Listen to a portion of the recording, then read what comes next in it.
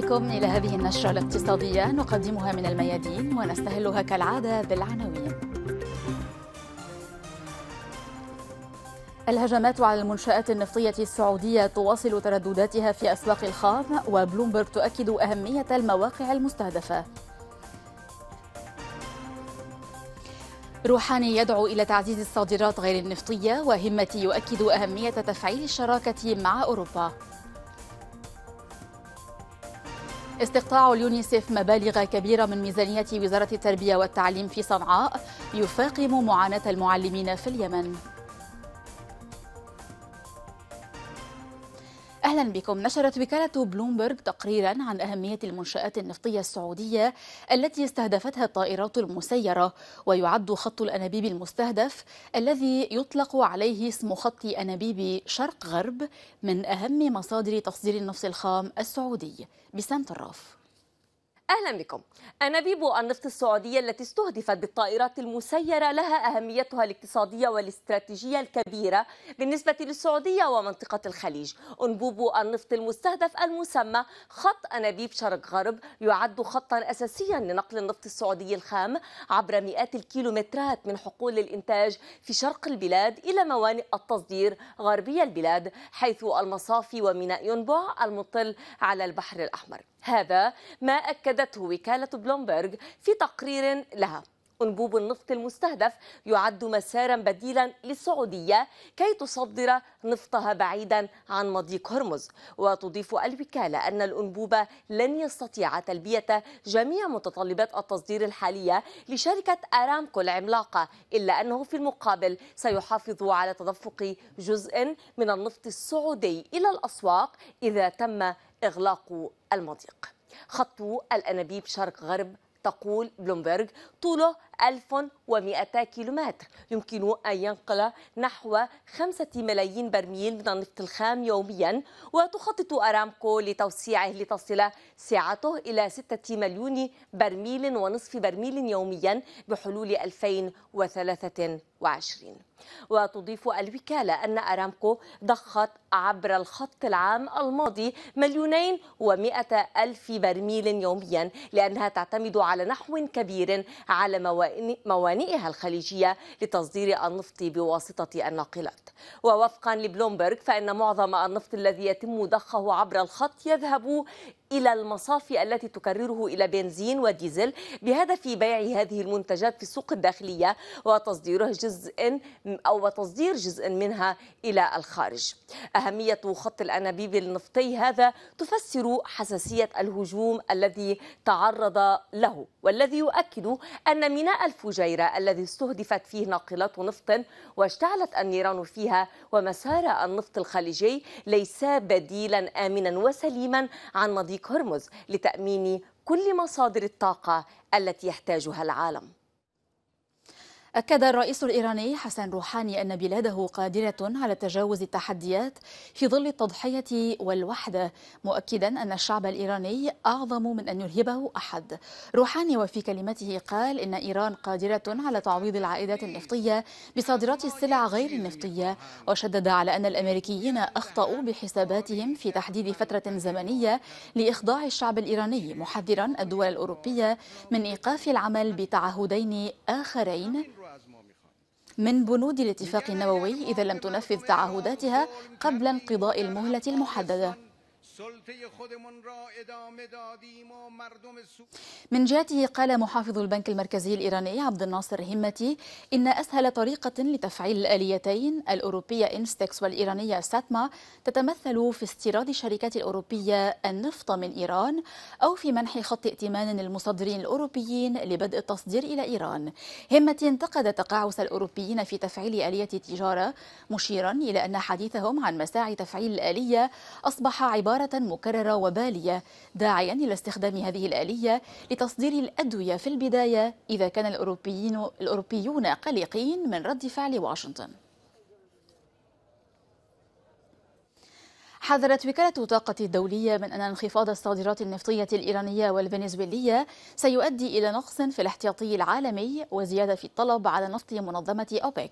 وفي تقريرها الشهري خفضت الوكالة توقعاتها بنمو الطلب على النفط في هذا العام بمقدار 90 ألف برميل يوميا إلى مليون وثلاثمائة ألف برميل. الوكالة رأت مؤشرات من منتجين آخرين على أنهم سيوفرون تدريجيا إمدادات بديلة للنفط الإيراني في ظل تشديد العقوبات الأمريكية.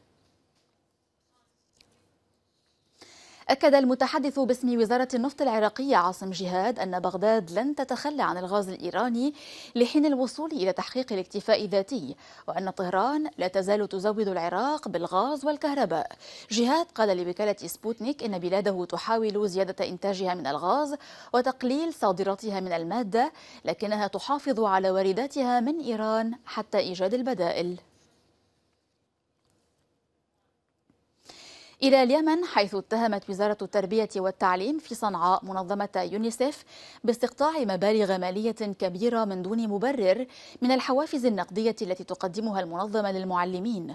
وطالبت الوزارة اليونيسف بإعادة المبالغ للمستفيدين بشكل عاجل محملة المنظمة مسؤولية تفاقم معاناة المعلمين في اليمن. أحمد زبيبة. فوجئ المعلم اليمني هاشم كغيره من المعلمين عند تسلمه حافز منظمة اليونيسف للمعلمين باستقطاع المنظمة جزءا كبيرا منه من دون مبرر حيث تقاضى نحو 15 دولارا بالعملة المحلية من أصل 150 دولارا كحافز عن ثلاثة أشهر متأخرة إجراء أثار موجة من السخط والاستياء. تفاجأت يعني بصراحة تفاجؤ كبير عندما أتي إلى الصراف وأستلم مبلغ 10200 ريال من مبلغ 61800 أي يعني ما يعادل 10 دولار أو 15 دولار من 150 دولار.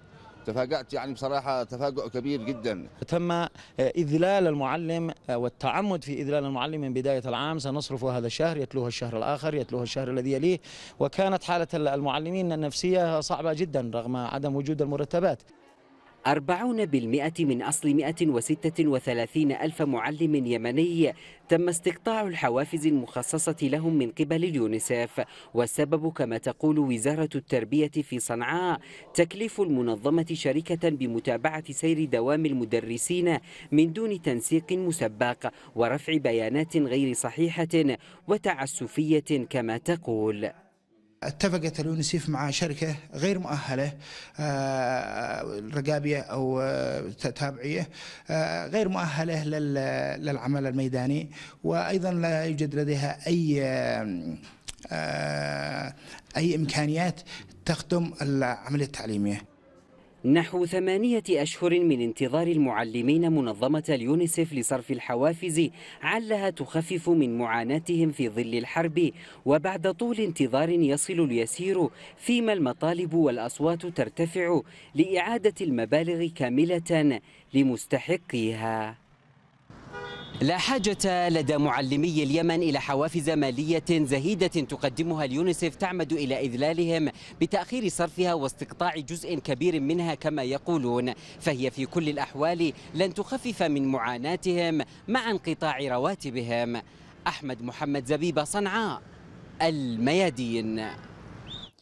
قال رئيس جمعية اتحاد مصدري المنتجات الزراعية الأردني سليمان الحياري إن حركة التصدير إلى العراق وسوريا في الآونة الأخيرة عبر معبري طريبيل وجابر نصيب منعدمة تماما وأرجع سبب ضعف حركة التصدير للعراق إلى تذبذب الموقف العراقي.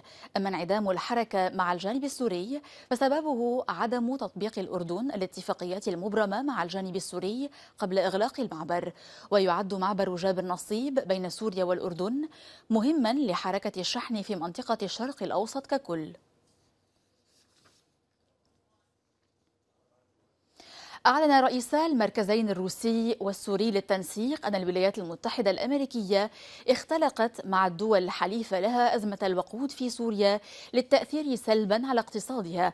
وأضاف الجانبان الروسي والسوري أن مواصلة الولايات المتحدة وحلفائها السيطرة على الأراضي السورية سيطيل أمد الأزمة ويزيد من الصعوبات الاقتصادية والاجتماعية التي تعاني منها البلاد ولا سيما في توفير الاحتياجات الرئيسة للسوريين من طاقة ومن غيرها.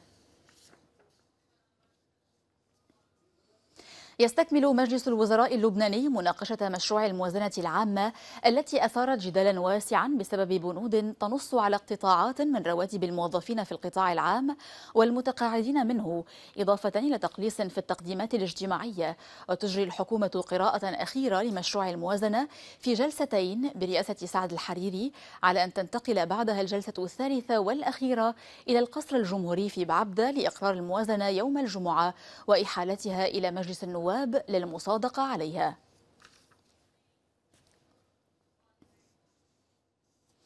حذرت الصين من إساءة استخدام استثناءات قواعد منظمة التجارة العالمية لأسباب متعلقة بالأمن القومي والتمادي في تدابير الحمائية التجارية معتبرة أن ذلك يهدد وجود المنظمة بشكل غير مسبوق.